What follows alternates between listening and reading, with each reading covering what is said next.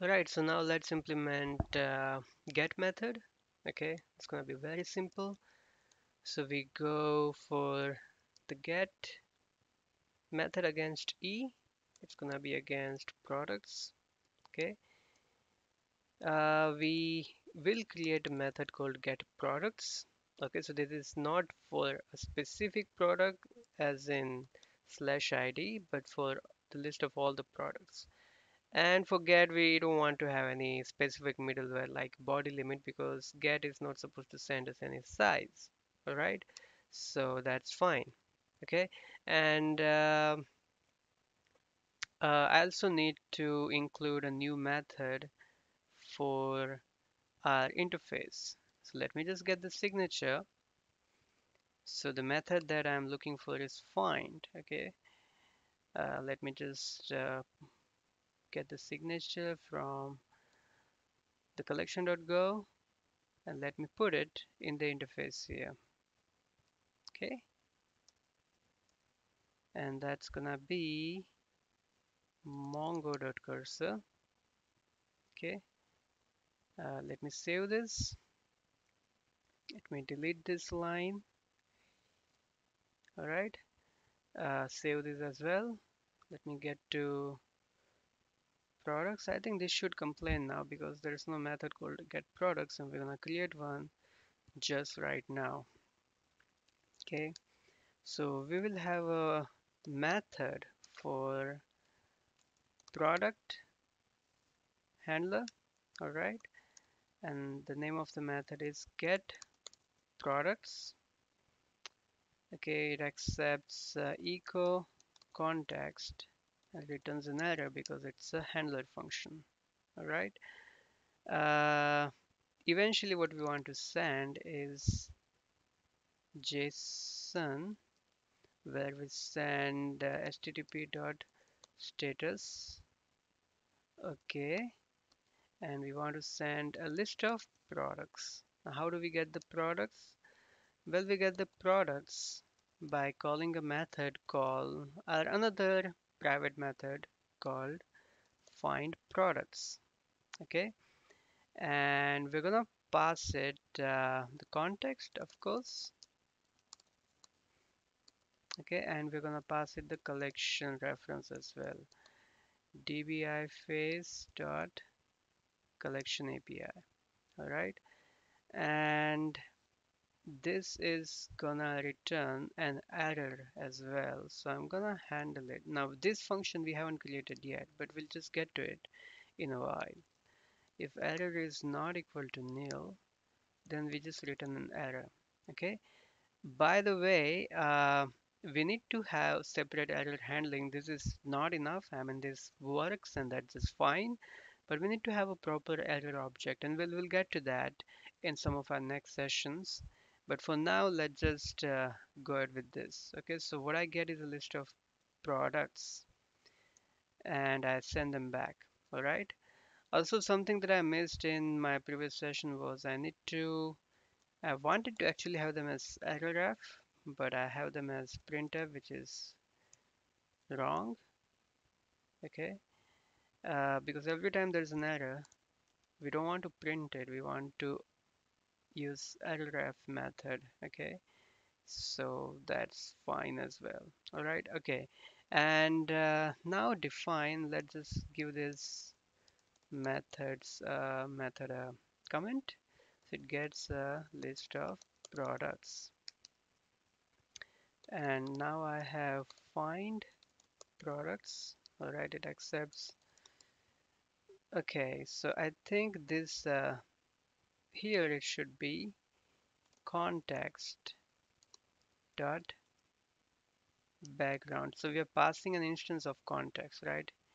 And we accept a context. And yeah I think I did this the other way around. So I think this would go in the method signature right? And here I would actually pass the actual collection that is h call right and I return a slice of product okay? And an error all right so first of all define products as a slice of product okay? Now what we want to do is we want to call collection and we want to call find the first argument is context the second argument is filter now we are doing a blank search so we are going to go with BSON, BSON M and empty BSON M, right? We have gone through this in our previous sessions on MongoDB with operators, okay? Uh, there are no specific options, so there's no point of this. What we get back is a cursor and error. So let's get that. So I have cursor and error. And if error is not equal to nil, then I want to uh, print the error that I'm unable to find the products okay and I just want to give I just want to print the exception object error object struct okay and now when I get the cursor cursor has this method called all okay what all does is it accepts the context and it also accepts a pointer to the result where you want to uh, decode these uh, results into, right? So that object is our products variable, okay? What it returns is an error, right? So this is again pretty simple. And uh, log. Unable to, when there's an error, uh, we just want to print unable to read the cursor. All right and that is it. Uh, at this point then I'm ready to send back products and nil all right. So hopefully this should be enough. I don't see do I see any errors? I do see. I think uh, this is undefined log. Uh, all right, then what logs do you have? I think it is fatalf, printf. Okay, I think the problem is I am referring to the wrong log here. What I actually wanted to refer to was, uh, let me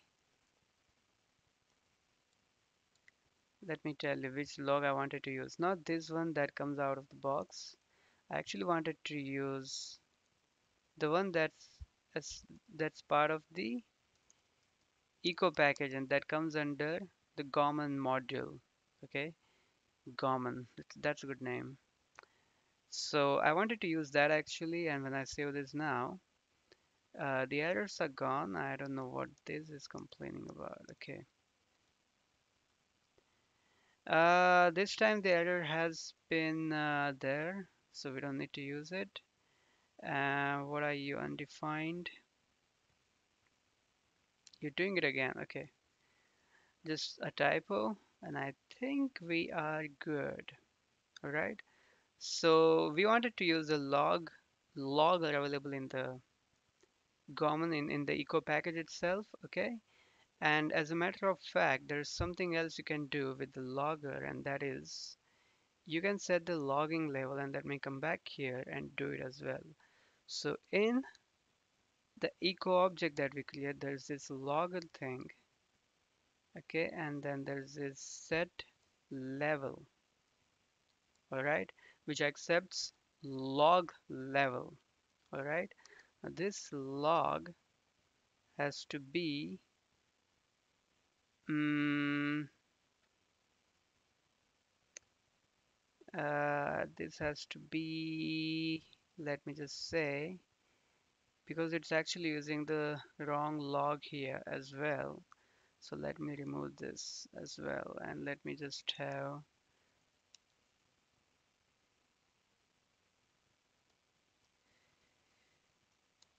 log here. All right.